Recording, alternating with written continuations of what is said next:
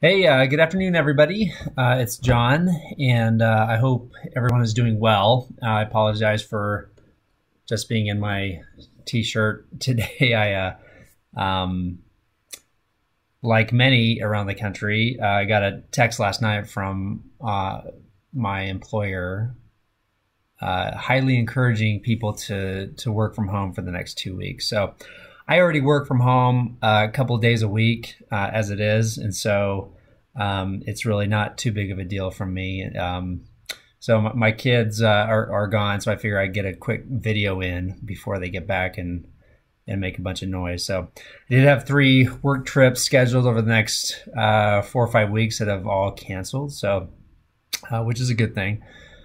But uh, hopefully you are all staying safe. Um, thank you for all you do, especially for the the um, all the uh, the practitioners, the nurses out there that I'm sure um, are working uh, arduously um, to to help um, uh, curb the uh, the effects of this. So. Uh, anyways, uh, of course, uh, school goes on and life goes on, and, and we have to learn how to deal with this the best we can. So we will continue on in our studies of healthcare legal uh, and ethical issues. Um, and uh, and we'll do that. So I, I know many uh, many universities are are going into a, an online format. Fortunately, we're already used to that format, so we'll just we'll just keep on uh, going as as we had planned. So. Um, this week I, I want to uh, uh, discuss a couple of things from your text, um, and then uh, uh, and then if you have any questions, of course I'm available and and please let me know. I did have a couple of people reach out to me on the that initial case. Uh, um, sort of case briefing or case study assignment um, which is great. Please, please reach out to me. I think that's a really important assignment because uh, it helps you sort of dissect the facts, the material issues, uh, or the material facts that present issues in the case. Um, you're going to need that as you engage in some some more in-depth legal analysis in upcoming assignments. So. Uh, please feel free to reach out to me if you have any questions about that or would like to discuss it. Uh, this week, I want to talk a little bit about uh, professional responsibilities, codes of conduct, um, uh, patient abandonment, and a little bit about privacy. So, uh, physicians, like all practitioners, I know we have many in this class, are governed by some sort of state board. Uh, some uh, of health or medicine could be a state medical board, state nursing board, depending on the occupation uh, and the, and the license. Uh, every state has statutes, regulations that govern uh, what constitutes unprofessional conduct and when a physician may be disciplined.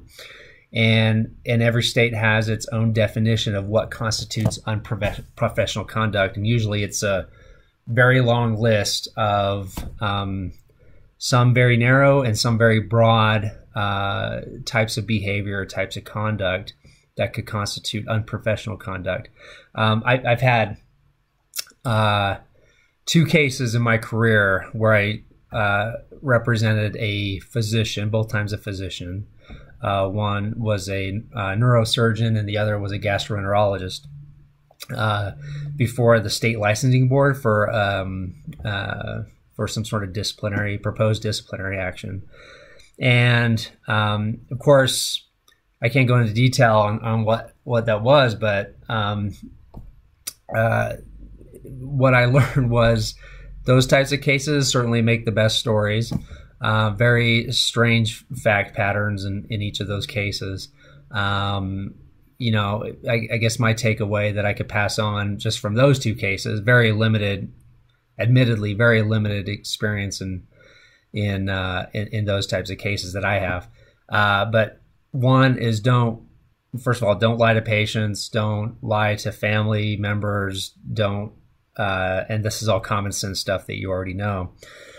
Don't alter, falsify medical records. Uh, very important. Um, you know, you, you'd think uh, that would be common sense to everyone, but uh, but certainly don't do that because that all those cases, uh, all those facts were part of a disciplinary case in those two cases that I worked on. So, um, very important. So, um, and, and, we're going to get into later. Uh, I mean, those are sort of legal codes of conduct. We're going to get into ethical codes of conduct a little bit later in the course uh, that govern uh, practitioner uh, behavior and, and conduct. Uh, in your text, the next thing I want to talk about, in your text, there's some discussion about patient dumping uh, and the duty to treat indigent patients. And so th- we talked, I talked a little bit about this in that first week's video about sort of the conflation of ethical issues and legal issues where we as a society have determined that, hey, it's unethical. Um, and I think many people would say it's unethical for, uh, you know, if someone who has was really experiencing a medical emergency to show up at an ER uh, and and not get the treatment that he or she needs simply because of the fact that they're indigent or they don't have insurance or they can't pay or they don't have enough, whatever the case may be. So that's uh, so that sort of ethical mindset or what we, we, we as a collective society deem to be ethical has transferred into the legal side through the passing of uh, the Emergency Medical Treatment and Active Labor Act. So if you work in an ER, if you have, I'm sure you're very familiar with EMTALA, uh, which um, prohibits um, you prohibits an ER from turning away patients simply because they are not insured or for any reason. If they show up with a medical emergency, they're required to provide stabilizing, uh, provide a med- uh, meaning, uh, medical screening and uh, and provide stabilizing care without any questions about insurance or anything like that. So um, so that's very important. The patient dumping piece is it prohibits the ER from dumping those patients onto another hospital because uh, for the same reasons, and so uh, neither one is acceptable under EMTALA. Yeah, and, and of course, because uh, lawyers are just really great at uh, sort of sort of questioning the entire legal landscape of, of, of any law. Um, you know, the question becomes what is an emergency department? Um, what is a meaningful uh, screening? What is stabilizing care? And so there are all kinds of questions, and there are t- there's tons of case law. There have been many many court cases on EMTALA that that sort of guide and direct this this uh, this area. EMTALA is a federal law, not a state law. Um, and, and there are a lot of federal rules, guidance, and case law about this question, of course. Uh, okay, so enough about that. I want to talk about patient abandonment. This is actually pretty timely for me because uh, I have a client in um, a client that is a uh, three physician surgical group that that they're talking about uh, dissolving uh, and kind of going their separate ways. And so questions uh, come up about you know what do we do with the medical records? You know how do we handle the situation with the EMR? Uh, and what about these patients that you know these physicians don't intend to? I mean, they're surgeons, so it's a little bit different than sort of a, a primary care practice where a, uh, a, patient would come in on a more frequent basis. But uh, nonetheless, um, you know, you never, as a physician, or uh, you never want to be uh, at risk for any sort of patient abandonment claim, and um, it is a form of medical malpractice or negligence. The elements are very similar. Um, it, it, occurs essentially when a physician terminates that physician-patient relationship without the proper notice or uh, or transferring that patient to the care of someone else. So um, uh, there, this is a this would be a state law issue. Uh, and, and, we'll make that distinction throughout the, the course. Like EMTALA is a federal law uh, patient abandonment, negligence, medical malpractice, uh, those things that we're studying, those are all state law issues. And so uh, there are generally five elements for a patient abandonment uh, claim. Of course, it's going to vary from state to state on the specifics, but generally, uh, these are the five elements. Number one, uh, health care treatment was unreasonably discontinued. Two, the termination of health care was contrary to the patient's will or without the patient's knowledge. Uh, three, the healthcare provider failed to arrange for care by another appropriate skilled healthcare provider. Four, the healthcare provider should have reasonably foreseen that harm to the patient would arise from the termination of the care. So, sort of this uh, that causation piece that we've been learning about uh, with medical negligence is kind of a similar element. And finally, the patient um, actually suffered harm or loss as a result of the discontinuance of care. So the actual damages or harm very similar to the elements of the uh, medical negligence that we're studying in this class. So again, governed by state law, each state generally has laws requiring some notice to be given. Um, some state laws define the the actual number of days notice uh, that has to be given. Uh, pretty standard is 30. Again, like I advise these physicians, standard is 30. However, if there are patients who, because of their current condition, they may be more vulnerable, uh, maybe not for surgeons, but maybe for primary care or like, like an oncologist or a nephrologist or so, some sort of specialty provider that's treating a chronic illness, may require more notice or may actually require some sort of transfer to another physician um, uh, that can that can treat the patient. So uh, it just sort of depends, but but based on those facts and circumstances, those are the uh, elements that we want to we would want to uh, uh, mitigate risk for. So, you know, these are these are some of the types of actions that will lead to liability um, for abandonment of patient patients based on some court cases that I that I saw. Uh, things like premature discharge of the patient by the physician, failure of the physician to provide proper instructions before discharging the patient, uh, a statement by a physician to the patient that the physician will no longer treat the patient, again, without notice and all, all, the, all those other elements being met, refusal of the physician to respond to calls or to further attend the patient, and the physician's leaving the patient after surgery or failing to follow up on post surgical care. So, those are all examples of what may be considered, if those elements are met, um, patient abandonment. I want to briefly touch on privacy because only briefly because we're gonna we're going to dig into it more next week. Our discussion question for module four is a great one, and it's a, it's with respect to privacy. Uh, but I want to I want to touch on a little bit. Um, private, uh, you know, HIPAA generally, many of you, if not all of you, are very familiar with HIPAA. And that essentially says you can't use or disclose protected health information unless an exception applies. There are three very common exceptions, and that is for the treatment of the patient, for payment, and for healthcare operations. There are a variety of others like law enforcement and uh, there there are quite a bit judicial proceedings, subpoenas, things like that. There are many others that are not aren't necessarily mandatory; they are permissive. So um, uh, so that, that that's that's an important distinction there.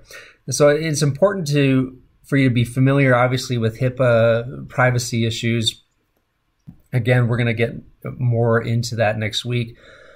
Uh, there, the HIPAA is generally uh, it up into three different rules. There's the privacy rule that uh, is essentially what I just told you in terms of the use and disclosure of PHI. The security rule that talks about the security of data, security of PHI requires covered entities to uh, have the necessary safeguards, technical, administrative, uh, and physical safeguards in place to make sure that that PHI is protected. Um, I'm gonna I'm gonna post a link. Um, I, I, tell you, sometimes government uh, agency websites are, are terrible and are, are really hard to navigate.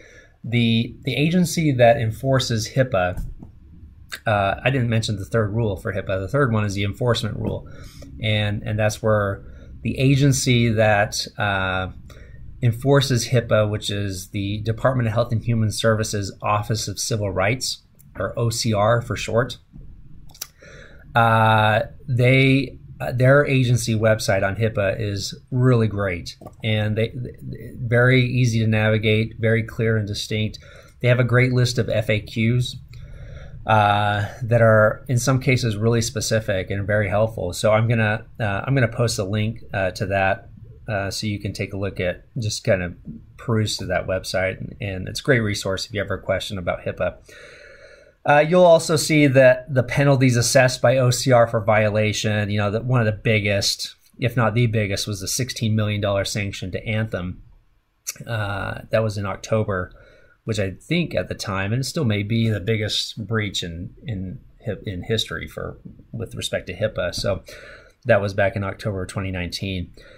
Uh, an important uh, thing that we'll get into is there's no private right of action under HIPAA, meaning if you are a patient and your your uh, protected health information was inappropriately or uh, used or disclosed, or there was some sort of breach and your PHI was involved in that, HIPAA does not give you the right to sue the hospital or the whoever has your PHI and caused the breach.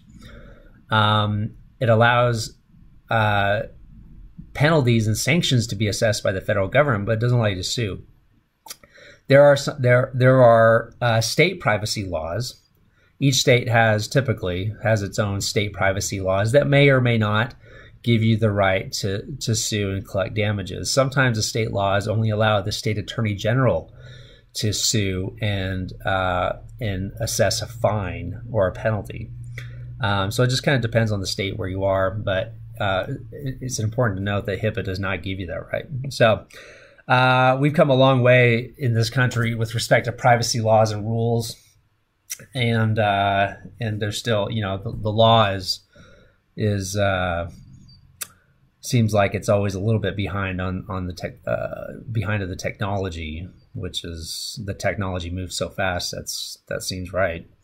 Um, so it's always catching up, but uh, that that's all I have. Uh, the only other thing is remember as you engage in these assignments, if you go, as we go through the legal analysis, the legal components of this Aitraldi case, remember uh, that legal analysis method of the, of the IRAC, the IRAC method, IRAC. So remember the issue. This is very important. Uh, state the issue. What is the rule? What it, apply the facts and give me your conclusion. So that that is the most. I, I I'm less concerned about the conclusion. I'm more concerned about how you get there. Um, if you have any questions on that, please let me know. Remember, medical negligence has four elements, each of which has its own rule, each of which needs to be analyzed in order for you to come to your conclusion.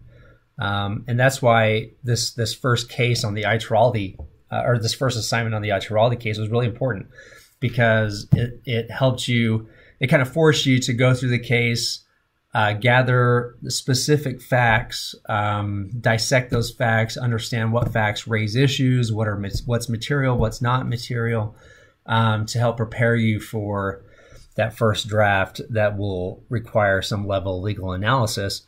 The power uh, of any legal analysis is in the use of specific facts, drawing on those facts, applying them to the rule to draw a reasonable conclusion.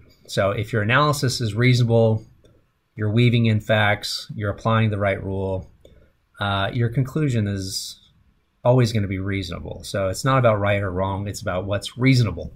So uh, that's all I have this week. Uh, again, please stay safe um, and uh, stay healthy. And um, please let me know if you need anything. I'm, I'm here and available. And I hope you have a great week. Take care. Bye.